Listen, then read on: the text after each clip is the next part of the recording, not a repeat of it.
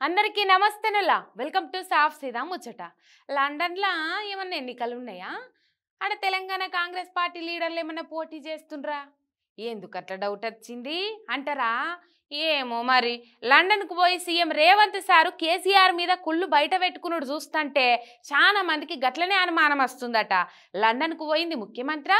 Party కార్యకర్తనా అని చాలా మంది బీరిపోయినరట. ఆయన మాటలు చూసినాక చూడుర్రి లండన్కు పోయినాక కూడా ప్రతిపక్షం మీద ఏడుపు అయితే ఆపలేదు.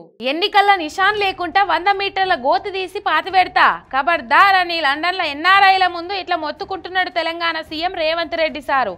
అవు సారు నిషాన్ లేకుండా బొంద పెట్టాలి. ఎందుకంటే ఇవాళ తమరు సీఎం అయిండ్రంటే ఆ నిషాన్ లేకుండా చేద్దామనుకున్న పార్టీ వల్లనే. నువ్వు ఓ రాష్ట్రానికి పీసీసీ ప్రెసిడెంట్ అయినవంటే దానికి కారణము నువ్వు అనుకున్న నిషాన్ లేకుండా చేద్దామనుకున్న పార్టీ వల్లనే. ఇలా హైదరాబాద్లో అన్ని పెట్టుబడులు వస్తున్నాయి అంటే నువ్వు లేకుండా చేద్దామనుకుంటున్న ఆ పార్టీ వల్లనే. కట్టినిల్లు పెట్టిన పొయ్యిలు ఎక్కున్న రాష్ట్రాన్ని ఏలుతున్నవంటే నువ్వు లేకుండా చేద్దామనుకుంటున్న పార్టీ వల్లనే. ఇవాళ ఇరవై నాలుగు గంటల కరెంటు పథకాన్ని కొనసాగిస్తామని అంటున్నవంటే కారణం నువ్వు లేకుండా చేద్దామనుకున్న పార్టీ వల్లనే. రైతు బంధు అందరికి ఇస్తామని చెప్తున్నావంటే దానికి కారణం కూడా ఆ పార్టీనే.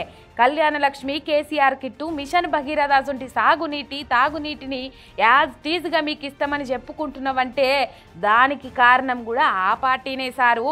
ఖచ్చితంగా ఆ పార్టీని బొందబెట్టాలి సారు.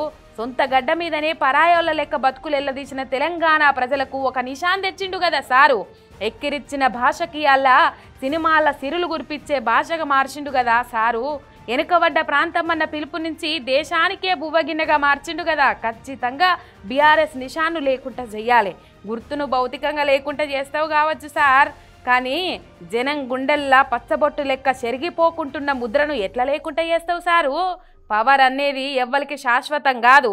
అత్తది కొన్నేళ్ళు కోడలిది కొన్నేళ్ళు అది మర్చిపోతే మొదటికే మోసమవుతుంది పైలం సారు అని అంటున్నారు తెలంగాణ జనం.